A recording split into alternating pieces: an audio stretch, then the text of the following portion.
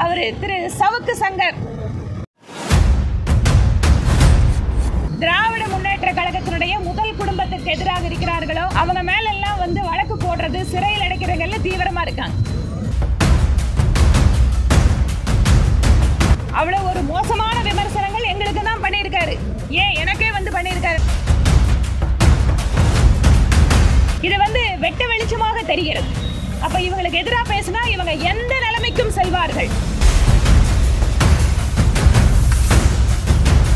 ஆனா அப்படி எல்லாம் தாக்கப்பட்டிருந்தால் இந்த அரசு ஒரு கேவலமான முன்னுதாரணங்களை உருவாக்கி கொண்டிருக்கிறதுன்னு தான் அர்த்தம் India's number one AI empowered institution, JKKN. Admissions open for engineering, pharmacy, allied health sciences, arts, nursing, and dental. JKKN Institution, Kumarapalayam.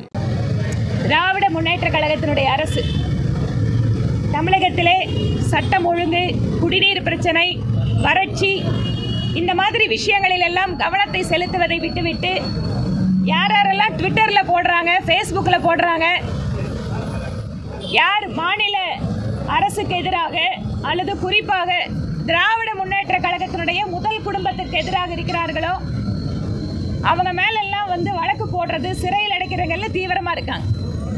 எது மக்கள் பிரச்சனையோ அதுக்கு முக்கியத்துவம் கொடுக்கல. அதை விட்டுவிட்டு எங்கள் அதிகாரத்தை எப்படி காட்டுகிறோம் பார் என்கின்ற ரீதியில் இது முதல் முறை அல்ல. பாரதிய ஜனதா கட்சியினுடைய நிர்வாகிகள். ஒரு சாதாரணமான நிர்வாகி ஒரு சமூக ஊடகத்தில் பதிவு பண்ணுறதுக்காக கிட்டத்தட்ட ஒன்றரை மாதம் கொண்டு போய் உள்ள வச்சிருக்காங்க. தொடர்ச்சியாக நடக்குது.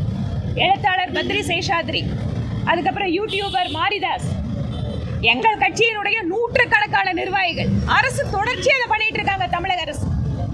இப்போ அவர் திரு சவுக்கு சங்கர் அவர் எங்களை வந்து பண்ணாத ஒரு விமர்சனம் கிடையாது. அவ்வளோ ஒரு மோசமான விமர்சனங்கள் எங்களுக்கு தான் பண்ணியிருக்காரு. ஏன் எனக்கே வந்து பண்ணியிருக்காரு? நான் போன வருஷம் திமுகவுக்கு போக போறேன்னெல்லாம் போட்டார். ஆனால் என்ன இதில் பார்க்கணுன்னா தன்னுடைய அதிகாரத்தை எந்த அளவுக்கு ஒரு மாநில அரசு துஷ்பிரயோகம் செய்கிறது? இது வந்து வெட்ட வெளிச்சமாக தெரிகிறது. அப்ப இவங்களுக்கு எதிராக பேசினா இவங்க எந்த நிலைமைக்கும் செல்வார்கள். அது ஊடகமா இருந்தாலும் சரி எதிரில் இருக்கக்கூடிய கட்சிகளாக இருந்தாலும் சரி இந்த அரசு இவ்வளவு மோசமாக அதிகாரத்தை பயன்படுத்துகிறது என்பது ஜனநாயகத்திற்கு விரோதமானது. இவற்றை எல்லாம் மக்கள் பார்த்து கொண்டுதான் இருக்கிறார்கள். தண்ணி பிரச்சனை தீர்க்க முடியல. இன்னொரு பக்கம் போதை கலாச்சாரம். சின்ன சின்ன குழந்தைங்கள்லாம் போதையில் வந்து பாதிக்கப்பட்டு கொண்டிருக்கிறார்கள். ஒரு பக்கம் பெண்கள் வந்து தங்கள் கணவன்கள் டாஸ்மாகுக்கு போய் உயிரை விட்டுட்டு குடும்பத்தை வந்து ஒரு பாழ்படுத்திட்டு இருந்தாங்க. இப்போ கண்ணு முன்னால் அடுத்த தலைமுறையை வந்து வீணாக்கி கொண்டிருக்கக்கூடிய சூழலில் இன்றைக்கி போதை கலாச்சாரம் தமிழ்நாட்டில் இருக்கு. எதற்கெல்லாம் முக்கியத்துவம் கொடுக்கணுமோ இந்த அரசு அதுக்கு முக்கியத்துவம் கொடுக்கறதில்ல. ஆனால் ஏதோ மிதப்பில் இருக்கிறார்கள். மூன்று வருட காலம் முடிந்து விட்டது. இந்த பாராளுமன்ற தேர்தலில் பல்வேறு இடங்கள்ல பார்த்தோம்.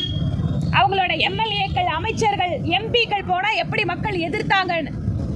அதற்கு பிறகாவது இந்த அரசு மக்கள் பிரச்சனைகளில் கவனம் செலுத்த வேண்டும் என நாங்கள் எதிர்பார்க்கிறோம்.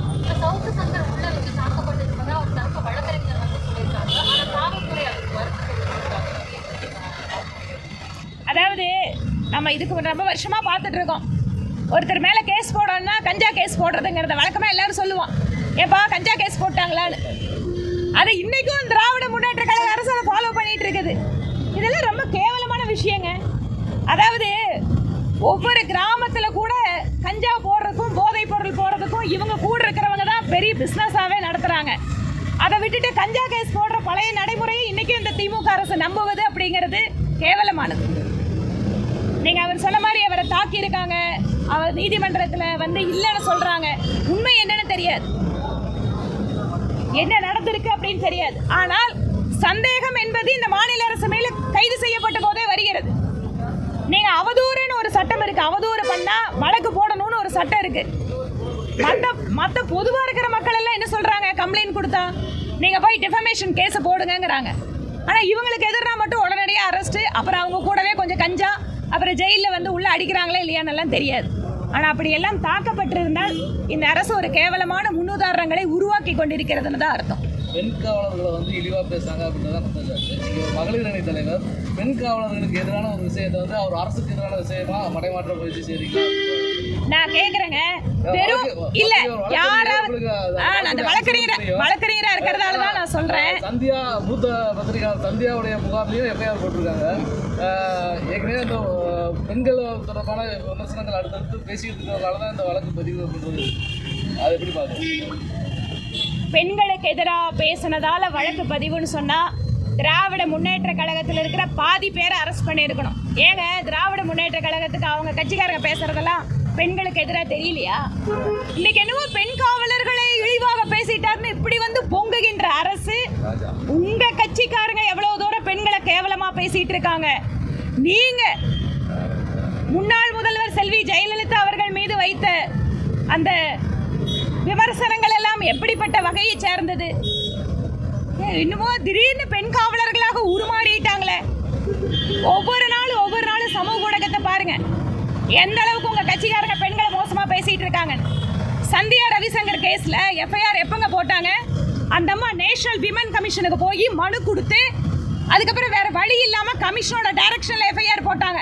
என்னமோ தானே கொடுத்தோன்னே எஃப்ஐஆர் போட்ட மாதிரி எல்லாம் பேசுறீங்க? ஆறு வருஷத்துக்கு முன்னாடி எஃப்ஐஆர் போடாதது யாரோட?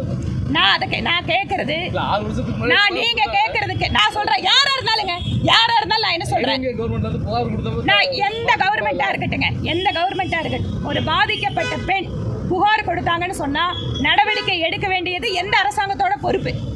ஆனா நான் வந்து யாரோ ஒருத்தருக்காக இங்க வந்து வக்காலத்து வாங்குறதுக்காக பேசல. நான் ஒரு மக்கள் பிரதிநிதியாக நீங்க சொன்ன மாதிரி அரசியல் கட்சியில் இருக்கின்ற பொழுது இந்த நாட்டினுடைய அடிப்படை ஜனநாயக மாண்புகளை நாம காப்பாற்றணும் அதனாலதான் சொல்றேன் எங்க மேலேயே மிக மோசமான விமர்சனத்தெல்லாம் வச்சிருக்காங்க.